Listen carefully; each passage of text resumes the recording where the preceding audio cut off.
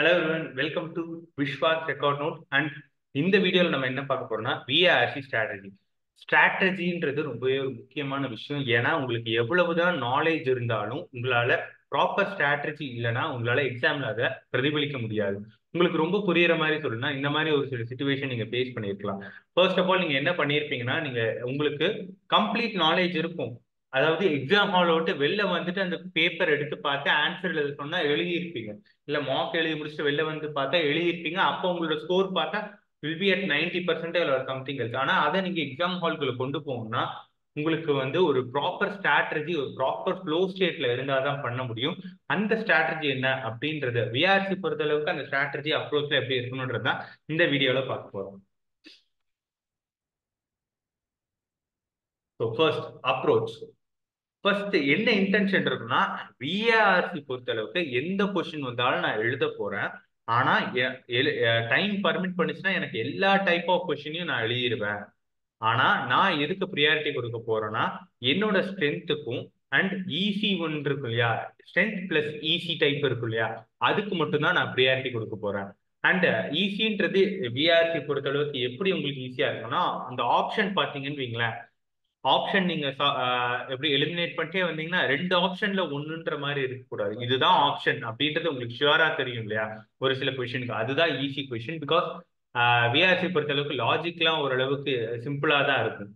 So அதுதான் எந்த ஒரு கொஷனுக்கு இதுதான் சிங்கிள் ஆப்ஷன் உங்களால டக்குன்ட்டு டக்குன்ட்டு கூட இல்லை. சிங்கிள் ஆப்ஷன் உங்களால வச்சுக்க முடியுதோ. அதெல்லாம் ஈஸி கொஷின் அண்ட் நீங்க பாத்தீங்கன்னு வைங்களேன் இதை எழுதும் போது என்ன ஒரு இன்டென்ட்ல இருக்கும்னா எக்ஸாம் ஹால் முடிச்சுட்டோ இல்ல அந்த மாக்கை முடிச்சுட்டு நீங்க வரீங்கன்னு வச்சுக்கோங்க. முடிச்சுட்டு வரீங்கன்னா உங்களோட இன்டென்ட் என்னவா இருக்கணும்னா நான் எந்த ஒரு ஈஸி கொஷனையும் மிஸ் பண்ணிருக்க கூடாது அப்படின்ற ஒரு இன்டென்ஷன்ல தான் நீங்க பேப்பரையே எடுக்கணும் ஏன்னா கேட் பொறுத்தளவுக்கு உங்களுக்கு பேப்பர் டஃப்பா இருந்துச்சுன்னா எல்லாருக்கும் டஃப்பா இருக்கும். அண்ட் உங்களுக்கு பேப்பர் ஈஸியா இருந்துச்சுன்னா எல்லாருக்கும் ஈஸியா இருக்கும். அப்படின்ற மைண்ட் செட்ல போனாதான் நீங்க வெறும் ஒரு ஸ்கோர்ஸை டார்கெட் வைக்காம அந்த ப்ராசஸ் மேல போக்கஸ் வச்சீங்கன்னா உங்களுக்கு நல்ல ரிசல்ட்ஸ் கிடைக்கும். ஸோ இது வந்து score success percentage for twenty twenty two இதுல இருந்து நீங்க தெரிஞ்சுக்க வேண்டிய விஷயம் என்னன்னா விஆர்எஸ்சி பொறுத்த அளவுக்கு எல்லாத்துக்கும் கொஞ்சம் ஈஸியா தான் இருக்கும். வெறும் ஏழு கரெக்ட் வாங்கினா நைன்டி பர்சன்டேஜ் இருக்கும். அண்ட் அதே நைன்டி பர்சன்டேஜுக்கு டிஎல்ஆர் பார்த்தீங்கன்னா அஞ்சு கொஷின் அதே நைன்டி பர்சன்டேஜுக்கு இதுக்கு வந்து அஞ்சு கொஷின் ஸோ உங்களுக்கு இதுல இருந்து தெரியறதுன்னா விஆர்சி எப்பயுமே வந்து அந்த பர்சன்டேஜ் பொறுத்த அளவுக்கு நிறைய net question net correct questions இருக்கணுன்றது அவசியம். So at least twenty twenty two பொறுத்த அளவுக்கு ஒரு எட்டு கரெக்டா இருந்ததுன்னா definitely will be at ninety percentage so அது மட்டும் பார்த்துக்கோங்க. அண்ட் முடிஞ்ச அளவுக்கு விஆர்சி ப்ராப்பரா ஹேண்டில் பண்ணிட்டீங்கன்னு வைங்களேன். உங்களுக்கு விஆர்சி நல்லா பண்ணிட்டாவே அடுத்தடுத்து நல்லா பண்றதுக்கு உண்டான மொமெண்டம் வரும் பிகாஸ் நீங்க விஆர்சில இருந்து எக்ஸாம் ஸ்டார்ட் பண்ணுவீங்க. ஸோ ஸோ இது போன வருஷம் மட்டும் அதாவது டுவெண்ட்டி டுவெண்ட்டி டூ பொறுத்தளவுக்கு எட்டு எட்டு கரெக்ட் வாங்கினா உங்களுக்கு வந்து எல்பி அட் நைன்டி பர்சன்டேஜ் வச்சுக்கோங்க. ஆனால் ஓவர் த ஃபைவ் இயர்ஸ் எடுத்தீங்கன்னா நீங்கள் கண்டிப்பாக நைன்டி பர்சன்டேஜ்ல இருக்குன்னா டென் கொஷின் நெட் கரெக்ட் வாங்கினா டெஃபினட்டாக வந்து நீங்கள் நைன்டி பர்சன்டேஜ் இருப்பீங்க. நீங்கள் இந்த டேபிள்லேயே பார்க்கலாம் இந்த இங்கே நைன்டி டு நைன்டி ஃபைவ்க்கு நடுவில் டென் டென் டெஃபினட்டாக நிறைய இடத்துல வருது. டுவெண்ட்டி டுவெண்ட்டி டூவை தவிர. ஸோ எப்பயுமே ஒரு பத்து கொஷின் கரெக்டாக இருந்தால் எல்பி அட் நைன்டி பத்து கொஷின் நெட் கரெக்ட் நெட் கரெக்ட்னா நீங்கள் தப்பாக எழுதுனது அதாவது positive plus negative is equal to thirty நீங்கள் எழுதின positive marks minus negative marks போட்டால் தேர்ட்டி வருதுன்னா you'll be definitely at ninety percentage so இந்த question format over the years எப்படி மாறி இருக்குன்றதை பார்ப்போம். டுவெண்ட்டி டுவெண்ட்டியை பொறுத்த வரைக்கும் நாற்பது நிமிஷம்ன்றது டைம் லிமிட்ல எந்த வித்தியாசமும் இல்லை. கொஷின்ஸ்ல பாருங்க. டுவெண்ட்டி டுவெண்ட்டில இருபத்தாறு கொஷின் இருந்துச்சு. இதுல இருபத்தி நாலு கொஷின் தான் இருக்கு. என்ன சேஞ்ச் பண்ணிருக்காங்கன்னா ஆர்சியில ரெண்டு கொஸ்டினை வந்து ரெடியூஸ் பண்ணிருக்காங்க மீதிபடி எதுலயும் எந்த சேஞ்சஸும் இல்ல. மெயினா நீங்க பார்க்க வேண்டிய இன்னொரு சேஞ்ச் டுவெண்ட்டி டுவெண்ட்டி ஒன்ல இருந்து டுவெண்ட்டி டுவெண்ட்டி டூல பாத்தீங்கன்னா பேரா ஜம்பிள்ஸ் ஆட் பேரா சென்டென்ஸ் அதாவது para summary para jumbles odd para sentence odd odd sentence இருக்கிறது வந்து டுவெண்ட்டி டுவெண்ட்டி டூல வந்து பேரா கம்ப்ளீஷன் சொல்லிட்டு எல்லாருக்குமே ஒரு சர்ப்ரைஸ் புதுசா ஒண்ணு பேப்பர்ல தான் வந்திருக்கு. அந்த paper para கம்ப்ளீஷனுக்கு no one was ready so இந்த மாதிரி சர்ப்ரைசஸ் பிஆர்சியில என்டையராக இருக்கும். சப்போஸ் உங்களுக்கு கிரிட்டிக்கல் திங்கிங் அப்படி இப்படின்னு ஏதாச்சும் ஒரு டைப் ஆஃப் கொஸ்டின் எக்ஸாம் ஹாலில் உட்காந்து அதை சால்வ் பண்ணாதீங்க.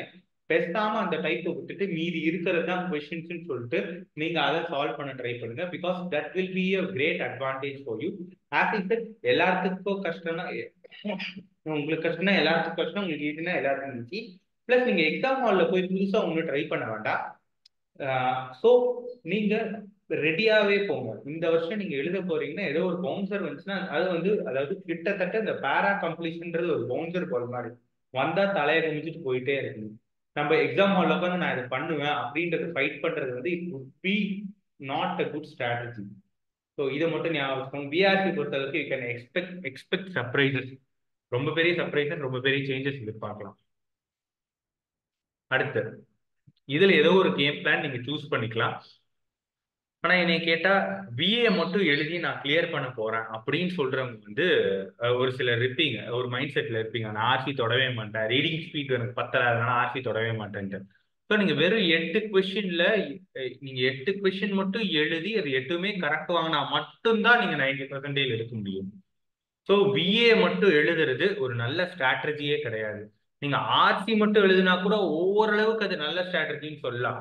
ஏன்னா நீங்க ஆர்சி நாலு ஆர்சி எழுதுனீங்கன்னா பதினாறு கொஸ்டின் இருக்கும். அதுல எழுபத்தஞ்சு பர்சன்ட் அக்யூரசி இருந்துச்சுன்னா உங்க ஸ்கோர் முப்பத்தி ரெண்டு இருக்கும் it will be at ninety seven percentage ஆனா விஏ மட்டும் எழுதுனா கண்டிப்பா அந்த அக்யூரசியோ இதோ ரொம்ப டஃப் அண்ட் இந்த கேம் பிளான் பொறுத்த அளவுக்கு உங்களோட இங்க இதுதான் பாட்டம் லெவல் மினிமம் நாலு ஆர்சி எழுத முடியுதா அப்படின்றது. அதாவது இனிஷியல் ஸ்டேஜஸ்ல நீங்க இது வச்சுக்கலாம். இதெல்லாம் உங்க டார்கெட்டா இருக்கலாம். நான் ஒரு இது வந்துச்சுன்னா இதெல்லாம் எழுதுவேன். நாலு ஆர்சி எழுதுவேன். இல்ல ரெண்டு ஆர்சி விஏ எழுதுவேன். இல்ல மூணு ஆர்சி விஏ எழுதுவேன். ஸோ இதுல உங்களுக்கு எந்த கேம் பிளான் எது ஓரளவுக்கு ஈஸியா இருக்கோ அதை நீங்க சூஸ் பண்ண. டார்கெட் வைக்க எது டார்கெட் வைக்க முடியுமோ அதை டார்கெட் வைங்க. பிகாஸ் அதை டார்கெட் வச்சுட்டு அதுக்கப்புறம் அதுல இருந்து நீங்க எந்த அதாவது இது ரெண்டுல ஏதாவது ஒண்ணு டார்கெட் வைப்பீங்க. ஏதோ ஒண்ணு உங்களுக்கு இது ரெண்டுல அதாவது கடைசி இருக்க ரெண்டுல ஏதோ ஒண்ணு உங்களுக்கு இப்ப கம்ஃபர்டபுளா இருக்கும் அதை டார்கெட் ஃபர்ஸ்ட் வைங்க அதை ப்ராப்பரா முடியும் அதுக்கப்புறம் டெஃபினட்டா மேல இருக்க ரெண்டு அதாவது த்ரீ ஆர்சிஸ் பிளஸ் விஏ கம்ப்ளீட்டா ஃபோர் ஆர்சிஸ் பிளஸ் விஏ கம்ப்ளீட்டா இருக்கு இல்லையா?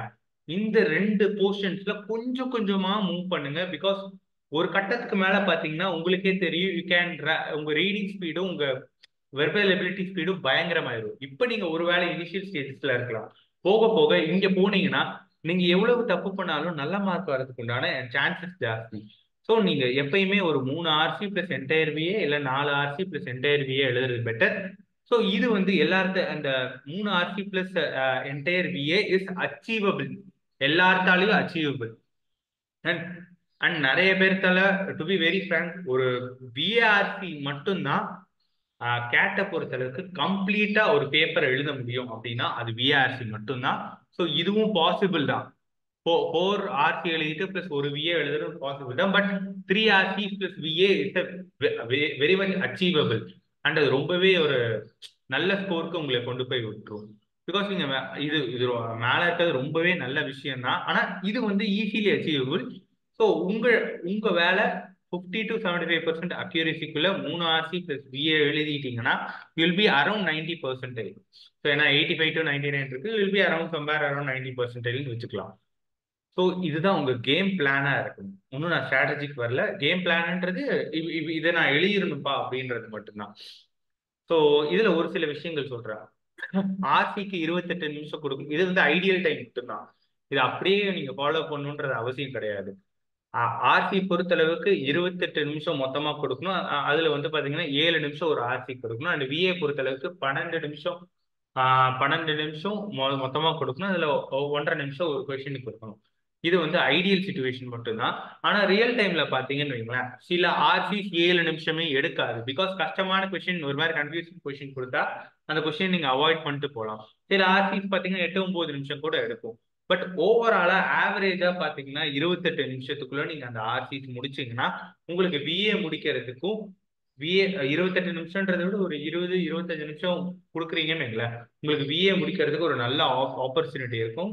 அண்ட் நீங்க இந்த ஸ்பீடு இந்த ஏழு நிமிஷம் RC one point five minutes VA இப்ப வேணா உங்களுக்கு ஒரு அஸ்ட்ரானஜிங் ரொம்பவே ஒரு டஃப் டாஸ்க் மாதிரி இருக்கலாம். ஒருவேளை இப்போ உங்களோட ப்ரெசன்ட் ஆர்சி வந்து பத்து நிமிஷத்துல முடிக்கிறீங்கன்னு வச்சுக்கோங்க. இப்போ இதுல இருந்து உங்களுக்கு எக்ஸாம் இருக்குன்னு வச்சுக்கோங்க. தேர்ட்டி தேர்ட்டி செகண்ட்ஸா குறைக்க ட்ரை பண்ணுங்க. அதாவது ஒரு நாலு வாரம் இருக்குன்னா ஃபர்ஸ்ட் ஒரு nine thirty nine minutes thirty செகண்ட்ஸ்ல நான் கம்ப்ளீட் பண்றேன். அப்படின்னு ஒரு மைண்ட் செட்ல இருங்க. அதுக்கப்புறம் you go for nine minutes அதுக்கப்புறம் இல்லைன்னா ஒன் ஒன் மினிட்டா முடியுதுன்னா ஒன் ஒன் மினிட்டா போங்க. எனக்கு தெரிஞ்சு விஏவோட கேஸும் அதுதான். மேக்ஸிமம் இப்போ உங்களால எனக்கு தெரிஞ்சு ஒரு த்ரீ மினிட்ஸ்ல டெஃபினட்டா ஒரு விஏ சால்வ் பண்ண முடியும் இருக்கும்.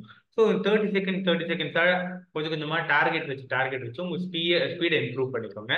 வைல் சீங் சொல்யூஷன் சொல்யூஷன் பார்க்கும்போது அந்த ஒன்றரை நிமிஷம்ன்றத ஐ மீன் ரெண்டு நிமிஷம் மூணு நிமிஷம்னு வச்சுப்போம்.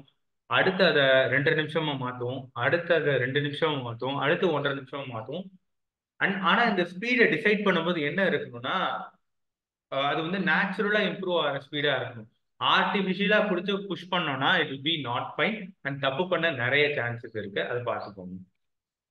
அண்ட் ஸ்ட்ராட்டஜி ஸ்ட்ராட்டஜி பொறுத்தளவுக்கு மூணு ஸ்ட்ராட்டஜி இருக்கு. ஸோ இந்த மூணு ஸ்ட்ராட்டஜில எது வேணாலும் நீங்க பிக் பண்ணலாம். நார்மல் போ ஒரு பேப்பர் எடுங்க. அப்படியே என்ன ஃபர்ஸ்ட் கொடுத்துருக்காங்களோ அதுல இருந்து ஆரம்பிப்பாங்க. உதாரணத்துக்கு ஆர்சி கொடுத்துருப்பாங்கன்னா ஆர்சியில் ஆரம்பித்து ஈஸியான கொஷின் மட்டும் எழுதிட்டு டஃப்பான கொஷின்லாம் விட்டுட்டு அப்படியே கீழே வந்துட்டே இருப்பாங்க. இவங்க ஃபஸ்ட்டு ஆர்சி முடிச்சுட்டு அப்புறம் விஏ வந்து அப்படியே போவாங்க. ஸோ யூஸ்வலாக இது யார் பண்ணுவானா நல்லா பயங்கர ஸ்ட்ரென்த்தாக ஸ்ட்ரென்த்தாக இருக்கவங்க. விஏஆர்சியில் பயங்கர ஸ்ட்ரென்த்தாக இருக்கவங்க இதை யூஸ்வலாக பண்ணுவாங்க. பட் இந்த ஸ்ட்ராட்டஜி யாருக்கு வேணாலும் ஒர்க் அவுட் ஆகலாம். இது ஸோ நீங்கள் வந்து ஸ்டார்டிங்லேருந்து அப்படியே லைனாக வந்து அப்படியே படிச்சுட்டு அடுத்தடுத்து அப்படியே போயிட்டே இருக்கலாம். இது வந்து நார்மல் ஸ்ட்ராட்டஜி அண்ட் இந்த ஸ்ட்ராட்டஜி பொறுத்தளவுக்கும் சரி இதுல இருக்க எந்த ஸ்ட்ராட்டஜி பொறுத்தளவுக்கும் சரி டஃப்பான கொஸ்டின் அட்டன் பண்றது நம்ம வேலையே கிடையாது. அதை அப்படியே விட்டுறணும். ஏன்னா அதுதான் உங்களுக்கு ஈஸியான கொஸ்டினை கண்டுபிடிக்கிறதுக்கு கொஞ்சம் டைம் கிடைக்கும். அடுத்து பாத்தீங்கன்னா ஓகே அடுத்து reverse flow strategy reverse flow பொறுத்தளவுக்கு இதுல வந்து பிஏ ஸ்ட்ராங்கா இருக்க பீப்புள் வந்து இது எழுதுவாங்க மோஸ்ட்லி ஃபர்ஸ்ட் என்ன பண்ணுவாங்கன்னா பிஏ கம்ப்ளீட் பண்ணிடுவாங்க. பிஏ கம்ப்ளீட் பண்ணாங்கன்னா அவங்களுக்கு என்ன கிடைக்கும்னா கம்மியான டைம்ல நிறைய அதாவது கம்மியான டைம்ல நிறைய கரெக்ட் அதாவது என்ன சொல்றது இப்போ வந்து ஒரு ஆர்சி நாலு கொஸ்டின் எழுதுற டைம்ல பிஏ நிறைய எழுதி முடிச்சிடலாம் இல்லையா? ஏன்னா ஒரு ஆர்சிக்கு ஏழு நிமிஷம் ஆகுது. ஒரு என்டையர் விஏ செக்ஷனுக்கே நம்ம பதினஞ்சு நிமிஷம் தான் கொடுத்துருக்கோம். ஸோ கம்மியான டைம்ல நிறைய கலெக்ட் ஆனோடனே we are in safe zone அப்படின்ற ஒரு ஃபீல் கொடுக்கும். அதுக்கப்புறம் பாத்தீங்கன்னா இது அட்டாக் ஆசி இது யூஸ்வலா விஏ ரொம்ப ஸ்ட்ராங்கா இருக்க பீப்புள் விஏல அக்யூரசி அதிகமா இருக்க பீப்புள் வந்து இந்த ஸ்ட்ராட்டஜி யூஸ் பண்ணுவாங்க. ஆனா விஏ மட்டும் எழுதிட்டு நின்றக்கூடாது. கூடாது கோபோர் ஆர்சி அண்ட் விஏக்கு அப்படியே ரொம்ப டைமும் கொடுத்துடக்கூடாது ஸோ இது வந்து ஒரு ஸ்ட்ராட்டஜி அடுத்து பாத்தீங்கன்னா காம்போ ஸ்ட்ராட்டஜி அண்ட் இந்த ஸ்ட்ராட்டஜி பாத்தீங்கன்னா ஒரு ஸ்ட்ரென்த் ஸ்ட்ரென்த்தை பொறுத்து விளையாடுற மாதிரி இருக்கும். அண்ட் இது வந்து நான் நான் யூஸ் பண்ண ஸ்ட்ராட்டஜி அண்ட் நான் ஒருத்தர்கிட்ட இருந்து பார்த்தா அந்த அந்த ஸ்ட்ராட்டஜி அப்படியே காப்பி ஸ்ட்ராட்டஜினால நான் இன்னும் டீப்பா இதை பத்தி சொல்ல முடியும். ஸோ நான் என்ன பண்ணுவேன்னா எனக்கு வந்து பேராசம்பரி ஸ்ட்ரென்த்து ஸோ நான் பேராசம்பரி படிக்கிறேன். அதுல ஈஸியா எனக்கு தெரிஞ்சதுன்னா அதை அட்டன் பண்ணிடுவேன். இல்லைன்னா நான் விட்டுருவேன். But I start with para summary para summary முடிச்ச உடனே என்ன ஆகும்னா பேராசமரி படிக்கும் போதே எனக்கு ஆர்சி படிக்கிறதுக்கு உண்டான ஒரு வார்ம் அப்பா இருக்கும். ஏன்னா பேராசமரின்றதும் ஆர்சின்றதும் கிட்டத்தட்ட ஒரே வேலையை பண்ற மாதிரி தான் இருக்கும். என்ன ஆர்சியில பேசேஜ்ல இருந்து ஒவ்வொரு பேசேஜையும் சம்மரைஸ் பண்ணி நம்ம வண்டையில வச்சுக்கணும் இல்லைன்னா நோட்ஸ் எடுத்துக்கணும். ஆர்சி பொறுத்தளவுக்கு ஒரே ஒரு ஒரே ஒரு பேராகிராஃப் மட்டும் சம்மரைஸ் பண்ணி அதை தூக்கி ஆன்சர் எழுதுற மாதிரி இருக்கும். அண்ட் பேராசம்மரி பண்ணும்போது ஆர்சிக்கு ஒரு சின்ன வார்ம் அப் மாதிரி இருக்கும். ஸோ அதனால ரொம்ப ஈஸியாவே பாத்தீங்கன்னா பேராசம்மரியில இருந்து ஸ்டார்ட் பண்ணி அதுக்கப்புறம் வந்து ஆர்சி போய் அதுக்கப்புறம் ஆர்சியில இருந்து பிஏல இருக்க மீதி கொஷின் பிஏல எனக்கு பேராசம்மரி தான் ஸ்ட்ரென்த் அண்ட் பிஏல இருக்க மீதி கொஷின்ஸ் இருக்க போது நான் வந்து கடைசி நேரத்துல வந்து தப்பு பண்ணேன். ஏன்னா கடைசி ஃபார்ட்டி மினிட்ஸ் கடைசி கொஞ்ச நேரம் இருக்கும்போது நான் தப்பு பண்ண நிறைய வாய்ப்பு இருக்கு பதட்டத்தினாலேயோ இதனாலேயோ அதனால நான் என்ன பண்றேன்னா மோஸ்ட்லி நான் வந்து நான் எம்சிக்யூ கொஷின்ஸ் அதாவது டீட்டா கொஷின்ஸ்ன்னு சொல்லுவாங்க இல்லையா? ஆப்ஷன்ஸ் இருக்காது நெகட்டிவ் மார்க் கிடையாதுன்ற மாதிரி இருக்கு questions para jumbles odd para odd சென்டென்ஸுக்கு odd one odd one sentence ரெண்டுத்துக்குமே பார்த்தீங்கன்னா நெகட்டிவ் மார்க் இருக்காது. ஸோ நான் அதை உட்காந்து ட்ரை பண்ணி முடிச்சுட்டு அப்புறம் நான் பேரா காம்படிஷனுக்கு போவேன். ஸோ இதுதான் என்னோட ஆர்டரா இருக்கும். அண்ட் இது பார்த்தீங்கன்னு வைங்களேன் ஒரு ஒரு கொஷினுக்கு ஏழு நிமிஷம்னா ஏழு நிமிஷம் எடுத்துக்காது லிட்ரலா ஒரு ஆர்சிக்கு சில டைம் பாத்தீங்கன்னா அந்த ஆர்சியில ரெண்டு மூணு கொஸ்டின் ரொம்ப டஃபா கேட்டிருப்பாங்க. அதனால கொஸ்டின்ஸ்க்கு அவ்வளோ டைம் கொடுக்காம அந்த கொஸ்டின் அப்படியே ஒமிட் பண்ணிட்டு கூட நான் ஃப்ளோ வந்துக்கலாம்.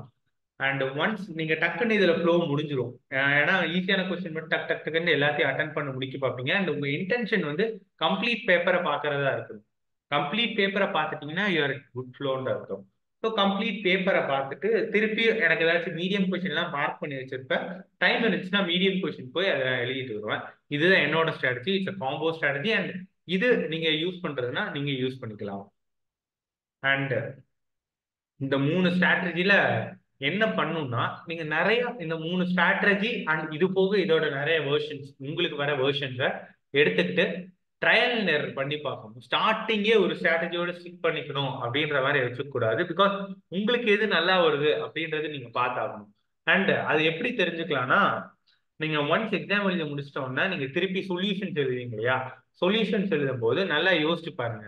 உங்களுக்கு பயத்தினால அந்த கொஸ்டின் விட்டீங்களா? நாலேஜ் இல்லாதனால கொஸ்டின் விட்டீங்களா? இல்ல ஸ்ட்ராட்டஜினால தான் கொஸ்டின் விட்டீங்களா? இல்ல சாய்ஸ் தப்பா சூஸ் பண்ணதுனால கொஸ்டின் விட்டீங்களான்றத நல்லா அனலைஸ் பண்ணி ஸ்ட்ராட்டஜி பிரச்சனை அப்படின்னு தெரிஞ்சதுன்னா ஸ்ட்ராட்டஜியை மாற்றுங்க அண்ட் இந்த ஸ்ட்ராட்டஜிலாம் ட்ரையல் ட்ரையல் நிறைய எடுத்துக்கலாம். நிறைய எடுத்துக்கிட்டாலும் கண் கண்டிப்பா கடைசியில அக்டோபர் லாஸ்ட் சண்டேன்னு வரும்போது ஒரு ஸ்ட்ராட்டஜி ஃபைனலைஸ் பண்ணிடணும். ஏன்னா அதுக்கப்புறம் வந்து நீங்க என்ன பண்ணிக்கலாம்னா அந்த ஸ்ட்ராட்டஜியை ரிவைஸ் பண்ணிக்க ரிவைஸ் பண்ணி ரிவைஸ் பண்ணி மாக்கை ரிவைஸ் பண்ணி நீங்க அடுத்து ஒன் மந்த் வந்து ரிவைஸ் பண்ணும்போது மாக்க வந்து திருப்பி திருப்பி அந்த ஸ்ட்ராட்டஜி யூஸ் பண்ணி உங்களுக்கு அதை பழக்கப்படுத்திக்கலாம். ஸோ அண்ட் இதுல மோஸ்ட் காமனா ஒரு மோஸ்ட் காமன் ஹேக் அதாவது ஒரு சின்ன ஹேக் நீங்க மிஸ் பண்றதுன்னா ஆர்டி எடுக்கும்போது ஒரு ஒரு விஷயம் வந்து எல்லாருமே மிஸ் பண்ணுவீங்க. ஸோ அது என்னன்னா நீங்க கொஸ்டின் பேப்பர் நீங்க பார்ப்பீங்க இல்லையா? அதை பார்த்து படிக்கும் போதே ஒரு விஷயம் வந்து நீங்க ரொம்ப கிளியரா யோசிச்சுக்கணும். ஏ ஓகே uh, உதாரணத்துக்கு இப்ப விஆர்சின்னு கிளிக் பண்றாங்க விஆர்சி டேக் டெஸ்ட் இருக்கா? இல்ல இல்ல. ஜஸ்ட் மினிட்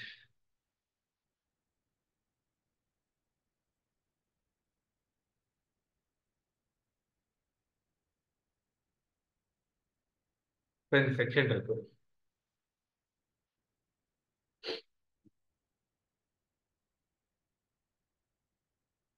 ஸோ இப்போ நான் வந்து என்ன பண்றேன்னா ஆர்சி இப்போ எடுக்க போறேன்னு வச்சுப்போம் இங்க கொஸ்டின் பேப்பர்னு ஒன்று இருக்கு இல்லையா? இதை கிளிக் பண்ணிக்கோங்க.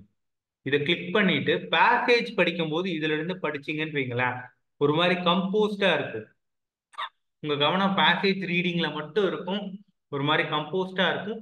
இப்படி இந்த இன்டர்ஃபேஸ் தான் கிட்டத்தட்ட உங்களுக்கு கேட் எக்ஸாம்லயும் வரும். ஸோ பேக்கேஜ் படிக்கிறது இதுல படிச்சுக்கோங்க. நீங்க கொஸ்டின்ஸ் போகும்போது இதை க்ளோஸ் பண்ணிட்டு இதுல இருந்து வேணா கொஸ்டின்ஸ் போய் சூஸ் பண்ணிக்கோங்க. எந்த பேசேஜ் இருக்கு என்ன எதுன்னு பாக்குறதுக்கு. ஆனா ரீடிங் காம்ப்ரகேஷன் பொறுத்த அளவுக்கு இந்த பேசேஜ் ஃபர்ஸ்ட் படிப்பீங்க இல்லையா? அதாவது இதோட இதோட சென்ட்ரல் ஐடியா என்ன? அப்படி இப்படின்ற தனித்தனியா எடுத்து வைக்கிறதாகட்டும் பேசேஜ் படிக்கும் போது நீங்க டெஃபினட்டா இந்த கொஷின் பேப்பர் டேப் வந்து ரொம்ப ஈஸியா இருக்கும். ப்ராக்டிஸ் பண்ணி பாருங்க. கொஷின் பேப்பர் டேப்ல நீங்க வந்து ஆர்சி பேசேஜ் படிக்கணும். இதை க்ளோஸ் பண்ணிட்டு ஆன்சர் சூஸ் பண்றது மட்டும் இங்க சூஸ் பண்ணுங்க ஓகேங்களா ஸோ இது ஒரு நல்ல ப்ராக்டிஸா இருக்கும். இது ஆர்சிக்கு மட்டும் இல்ல நிறைய இடத்துல பாத்தீங்கன்னா எல்லாடிஏக்குமே அப்ளை ஆகும். ஒரு பெரிய கொஷின் இருக்குன்னா இந்த மாதிரி விஷயங்கள் அப்ளை ஆகும். குவான்ஸுக்கும் வெர்பல் எபிலிட்டிக்கும் இது அவ்வளவோ சூட் ஆகாது. பட் இந்த மாதிரி பெரிய கொஷனுக்கு டெஃபினட்டா இது சூட் ஆகும். அண்ட் இது ஓவரால் கொஷின் பேப்பர் பொறுத்தளவு கொஷின் பேப்பர் மோட்ல நீங்க வந்து ஓவராலா என்ன கேட்டிருக்கான் எத்தனை கேட்டிருக்கான்றத டக்குன்னு ஒரு ரிவைஸும் அடிக்க முடியும். So question paper mode use பண்ணுங்க. இது மோஸ்ட்லி யாரும் அவ்வளவோ யாரும் யூஸ் பண்ண மாட்டாங்க. ஸோ இன்னைக்கு வீடியோவோட தான் இந்த விஆர்சி ஸ்ட்ராட்டஜியை உங்க அடுத்த மார்க்ல இம்ப்ளிமெண்ட் பண்ணிட்டு பண்ணி பார்த்துட்டு வந்து சொல்லுங்க. கண்டிப்பா உங்களுக்கு நிறைய சேஞ்சஸ் இருக்கும். ஸோ இன்னைக்கு வீடியோ அவ்வளோதான் அடுத்த வீடியோவில் உங்களை எல்லாத்தையும் பார்க்குறேன். Until then it's tata bye bye from Vishwa